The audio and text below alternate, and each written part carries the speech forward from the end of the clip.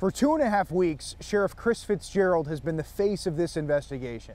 And he tells us it has certainly taken a toll on him, on his investigators, on the community. But he says the Jayme Closs case remains a top priority.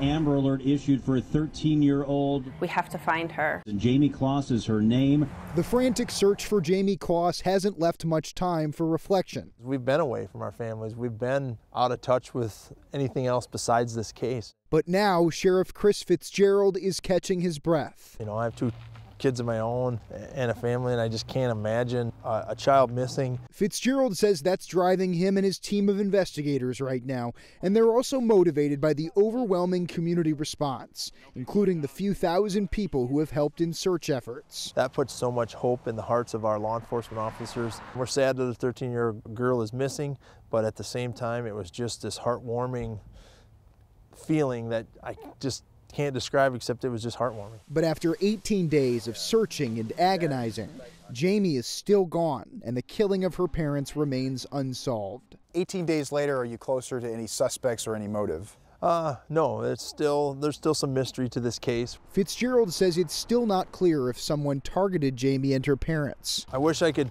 solve that. I wish I could give the community that answer. That's the answer I struggle with every night as I go to sleep is to figure out exactly if this was random or not. At one point, more than 200 officers were on the ground here pursuing the case. Now that tips are starting to decline, Fitzgerald says it no longer makes sense to have a 24 7 operations center.